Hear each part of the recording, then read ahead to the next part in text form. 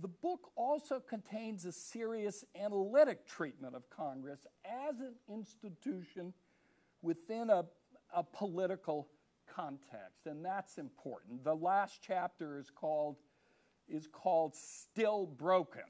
Um, and that's where he develops this notion of the problem is the culture of Congress. Now, here, I want to make an argument that his emphasis on the culture of Congress turns eyes away from other things that he says that I think are more consequential and important.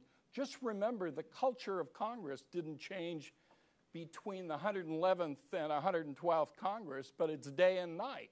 It's because the context was dominating. The Republican House made it, made it impossible for anything uh, to happen. I would, I would argue the culture is, is more a symptom of, uh, of, what's, uh, of what's going on, and with it comes a whole set of, of, uh, of problematics and consequences. But it's clear what's driving the culture that he is talking about in this book is, is the emergence of partisan polarization.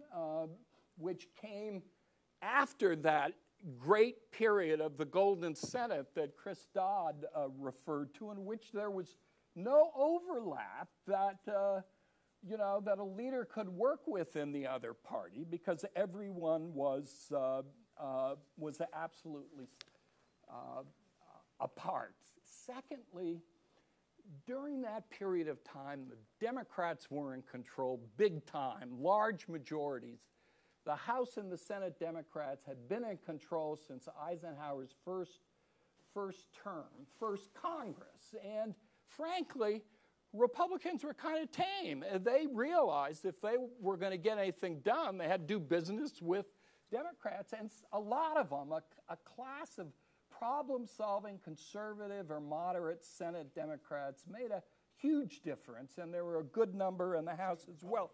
Republicans, excuse me. But when, when we got to parity, first, first with the Senate, with the 1980 election, when, when Chris was elected, and then the 1994 election, suddenly either party could win a majority.